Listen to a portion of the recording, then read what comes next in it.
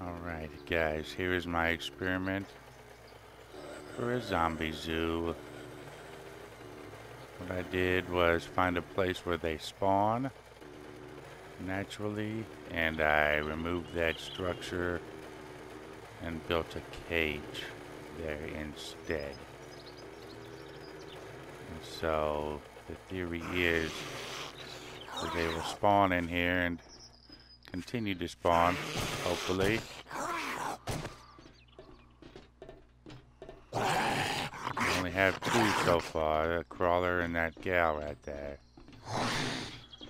But I am certainly hoping for more. I don't know though. It's been a couple days and I still only have two.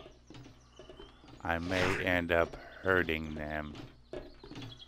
As in herding cattle. Like maybe into smaller cages. Just for the fun of it. Really like to get a bear in a cage. A zombie bear. Crazy idea. I know, I know. Very silly. But I get bored. Should be cool. Maybe. Different at least. Alright, that's that.